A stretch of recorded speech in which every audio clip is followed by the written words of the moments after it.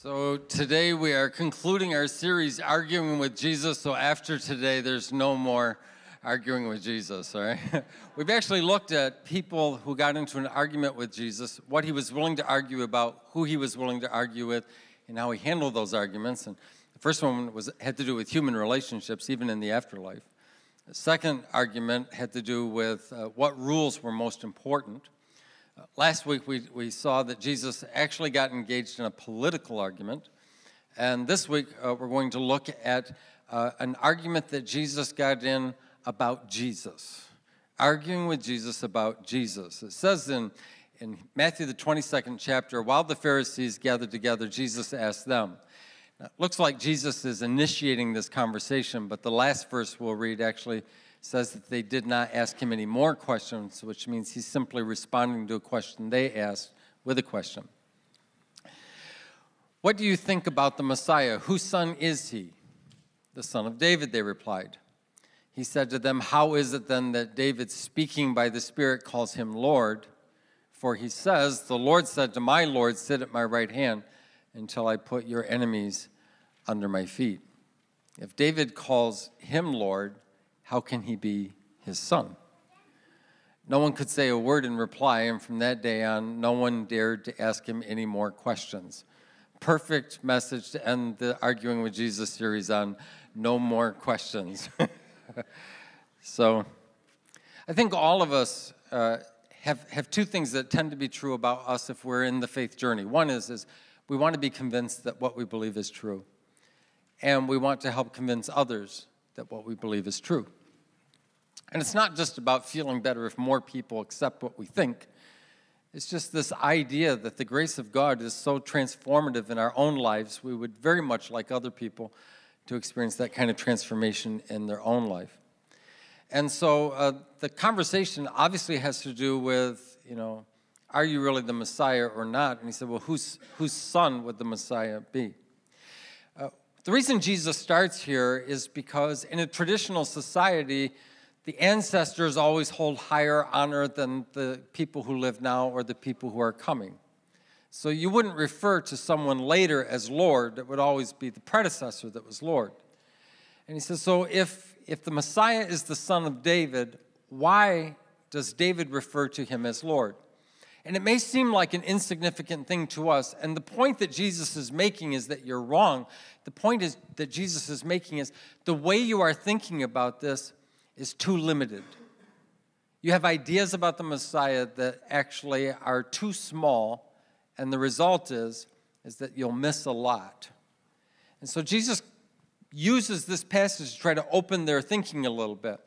So, how is it possible that David would be referring to the Messiah as Lord if it's his son? There's, there's two things I, two ways I think people like to be convinced or wish they were. And, and the first is this we would like to see a miracle that was so powerful and so overruled the laws of nature that we would just be convinced beyond any shadow of a doubt yeah, God is real. This is true. That's just the way it is. Except what I've discovered is, is that when we are confronted with the miraculous, we do not tend to believe it, we tend to question it all the more. Uh, for example, uh, just about a year ago, there was a young man in our church uh, uh in, in school who walked onto a soccer field, collapsed.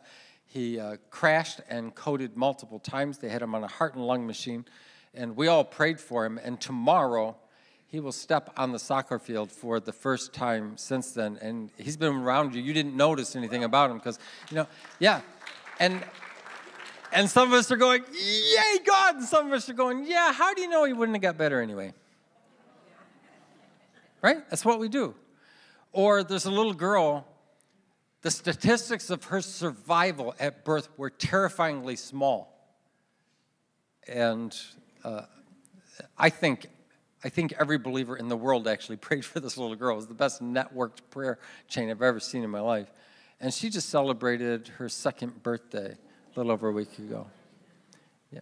And, and so some of us go, yes, that's a miracle. And some of us go, know, it, it's not like 100% of the babies who are born with that die, so maybe she's in that percentage. And we want to be confronted with power that overrules nature, but when we see evidence of it, we just ask more questions. We come up with more arguments. And then there's another way that we like to have things proven to us, and that's just wisdom and logic. Come up with an irrefutable line of logic so that when I hear it, I just it decimates every doubt I will ever have. It just just the wisdom and logic. And the assumption here is that there is an argument so powerful that it will stop you from arguing against it. So, how many married people do we have in the house? How many have experienced an argument with your spouse that was so powerful, they were so right that you just go, You're right. In fact, you're always right.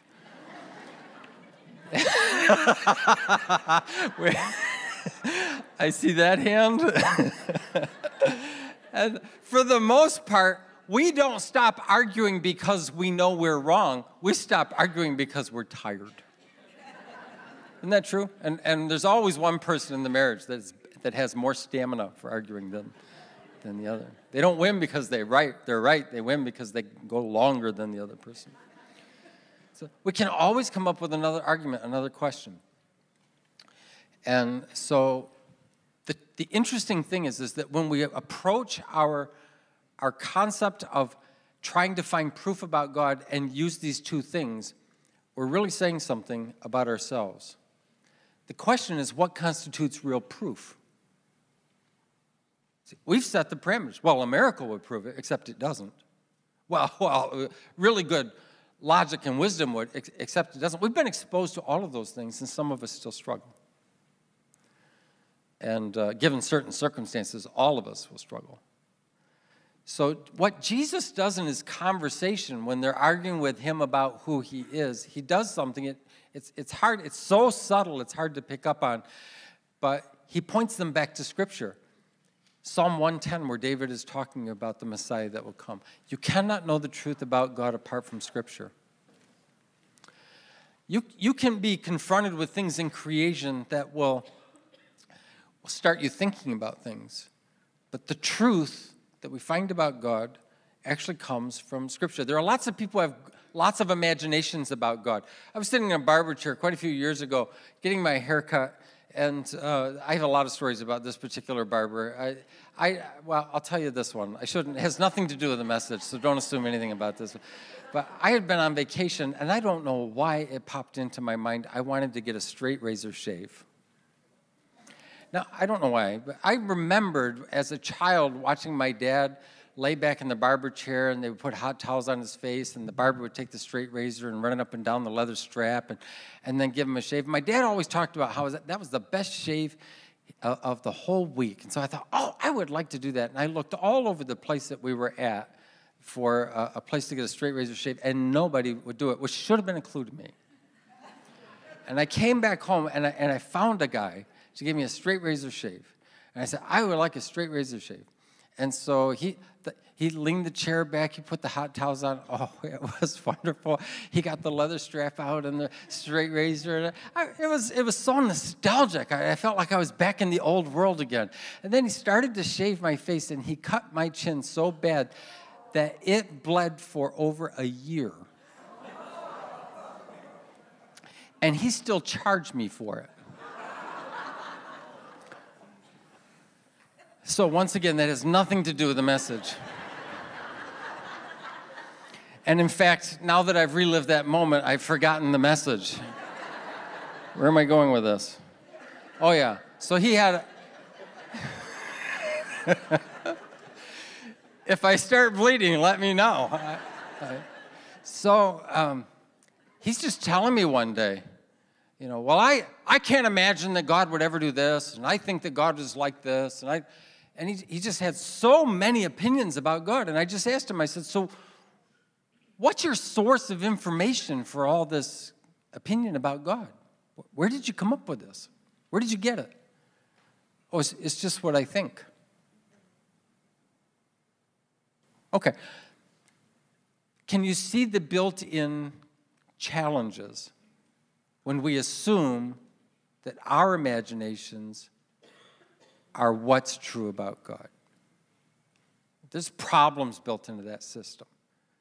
We need a better source of evidence. And there's actually a collection of writings called Scripture that have been collected for thousands of years that reveal unbelievable truths about God. And so Jesus just points them back to Scripture to find out who Jesus is. Study Jesus. Don't just study ideas about Jesus. Don't just study opinions about Jesus. Don't just study writings about Jesus. Look at the life of Jesus in the Gospels. How, how did Jesus act? What did Jesus do? Stop waiting for someone to argue you into understanding about God. Stop waiting for some sign that just overwhelms your sensory load and says, well, it must be God. And start actually doing the work of looking at the life of Jesus. Examine his actions, his words, compare them with what you see in the world today. For example, Jesus was a person who had incredible authority. The constant thing that people would say about him, we've never heard anybody teach like this before. He has authority that's different. And, and he could even command wind and waves. I mean, this is a lot of authority, and yet he never used his authority to in any way demean anyone or impose his own personal preference. When have you ever seen anything like that in our world? I mean, isn't that what you do with authority? You put some people down and you get what you want. Or, or he could speak truth without actually destroying people. They felt hopeful. Or he, he walked humbly without being insecure or intimidated. Well, that's interesting. He could be certain of what he believed without being intolerant of people who didn't believe yet. He'd sit at the same table with them and both were happy for each other's company. He could be passionate without being unbalanced or unhealthy. He could be pure without living in fear that anyone less pure around him would contaminate him. He never showed prejudice. He never said anything he should not have said. He never failed to say anything he should have said. He never did anything he shouldn't have done. He never failed to do anything that he should have done. When you look at Jesus, you learn about Jesus. So, Jesus brings us back to Scripture, and we're fortunate that we have the Gospels. What he's telling us is, is that God is not going to surrender to our terms for proof. That God is not going to say to us, okay, I will give you the miracle you want, because He can give us the miracle that we want, and it will not be enough. It doesn't stop Him from doing miracles, He just knows that that's not enough. We, we look through the logic and the, and the implications of the gospel in our lives every week, and, and we're not an isolated community in that regard. It happens in communities of faith and churches all over the world. And so there's a lot of wisdom and a lot of reason and a lot of logic that gets attached to our faith. And, and what God says is there's nothing wrong with those things, but those things are not going to prove anything, and I will not limit myself to those things to prove who I am. So uh, he considers that we, he insists that we consider the proof that he offers. What's the proof that he offers? God came in the flesh. That's the proof he offers. Now, that's different than what we want, but it's what he offers. So people had ideas about the Messiah. When they said it's going to be the son of King David, they assumed that, like David, he would be a very powerful and popular leader. That he would be a brilliant military strategist and be able to command and marshal armies and have a revolt of an entire nation to overthrow the occupying force of Rome which they all hated. I mean, they really believed that, that their Messiah would do this. And here's the problem with that idea is if you think that's what this person is going to be like, he's going to be popular, he's going to be influential, he's going to be militarily strategic, and he's going to be able to marshal forces, then the only people you will pay any attention to in your life are those who do those things. Everybody else you tune out there's certain language you assume that a guy like that is going to use. There's a way he's going to talk. He's going to incite frustration. He's, he's going to hold uh, unjust powers accountable. He, he's, going to, he's going to recruit for military overthrow. And people were listening for that and missing the actual Messiah who was there. See, when we demand proof on our terms, we miss real information.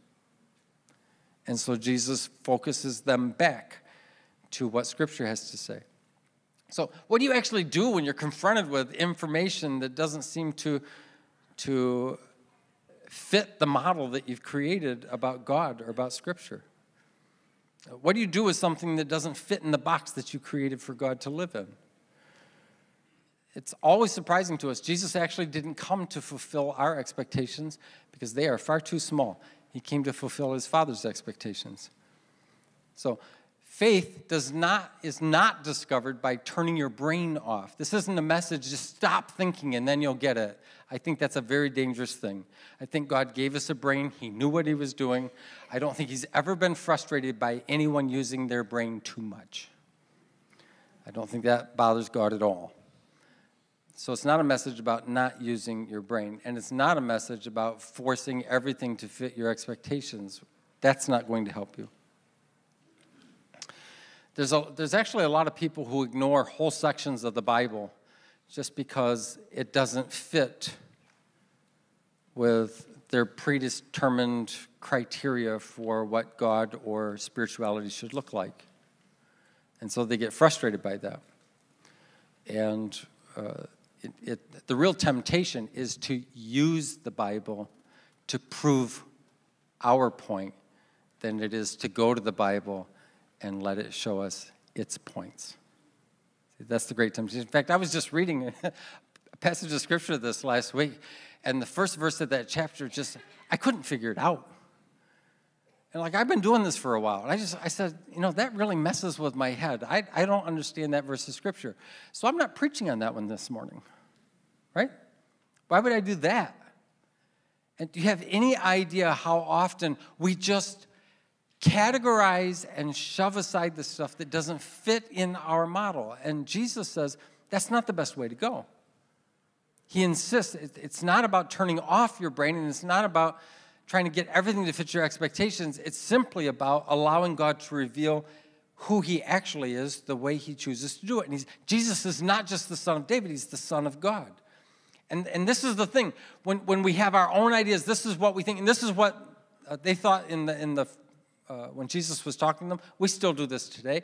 And the idea is this you know, if, if God was really good and God was really powerful, then he would. And, and he would destroy this institution. He would, he would undo this injustice. He, he would deal with these things. And it's really fascinating to me every time humans come up with something that God should do, it's always dealing with a consequence of sin.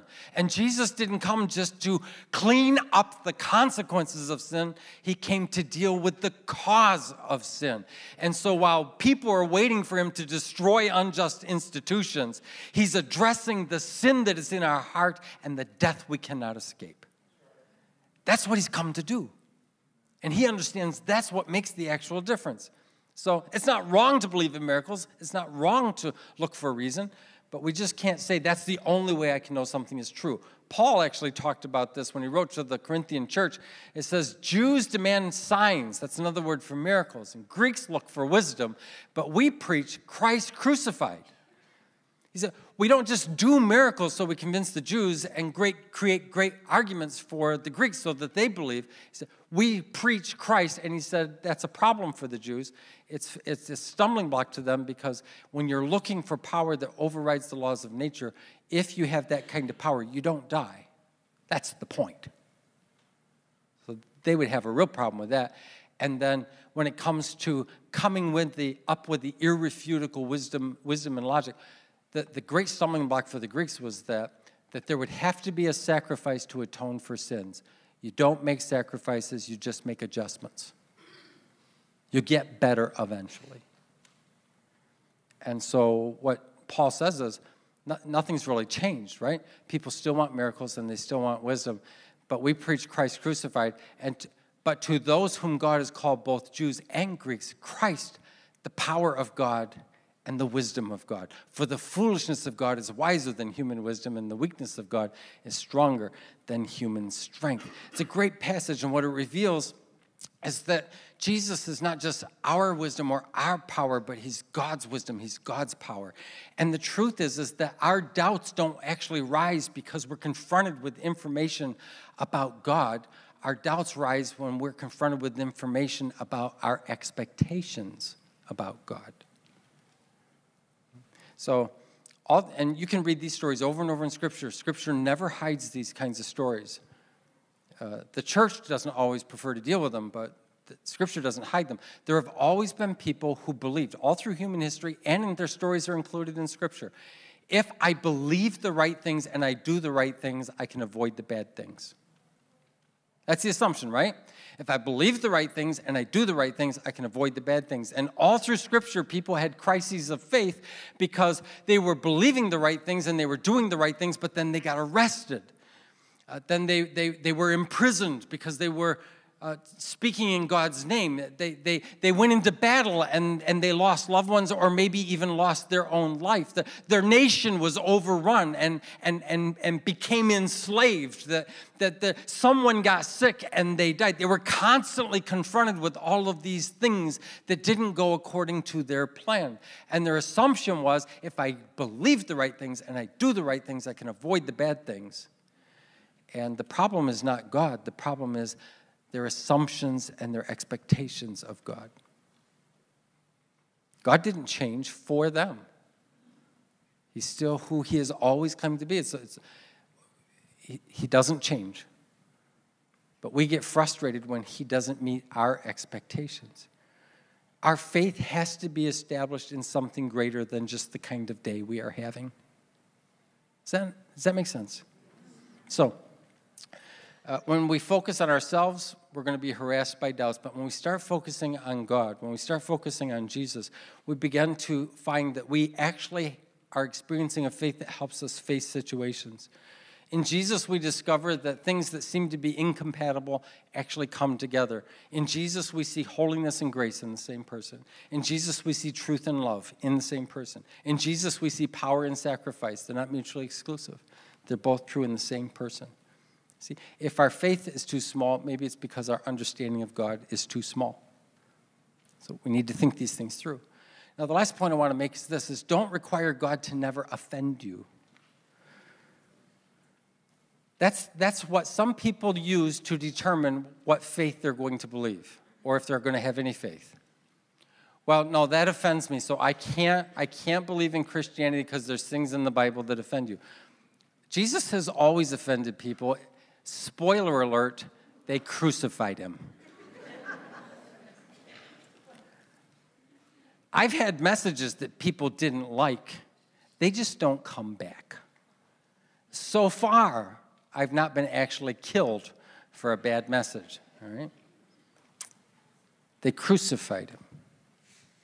Jesus was very offensive, but not because he was ungracious or because he was he, he was mean spirited.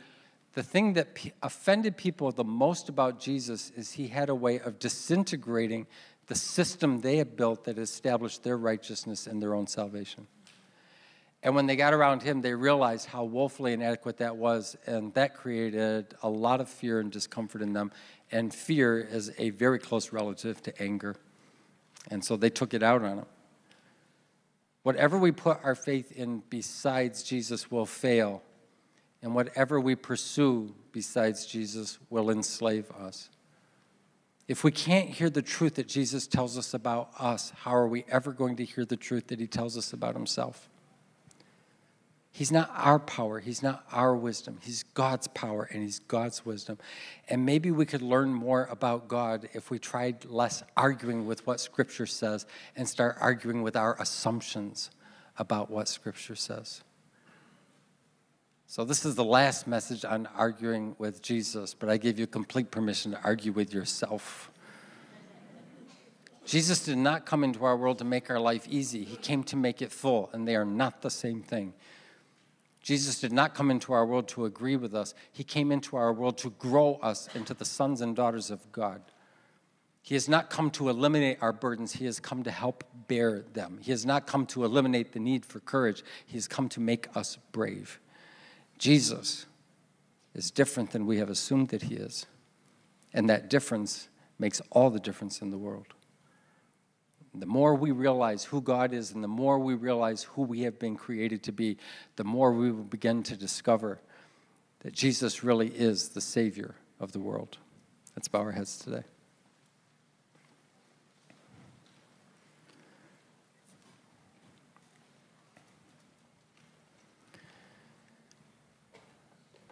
Um, it's entirely possible that you, you're sitting in the room today because a friend invited you and, and you really don't buy into the, the whole faith thing, at least not at this point. Maybe you're interested, maybe not.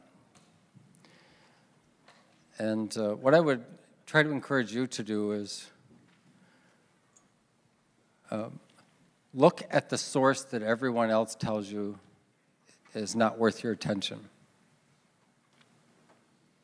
If you want to find out about Jesus, study Jesus.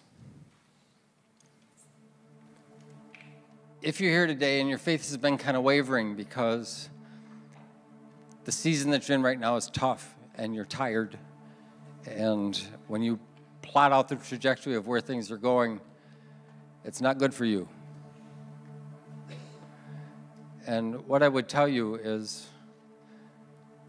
that don't make an assumption about God based on the assumptions about your future that you have for yourself or your experience of pain and disappointment.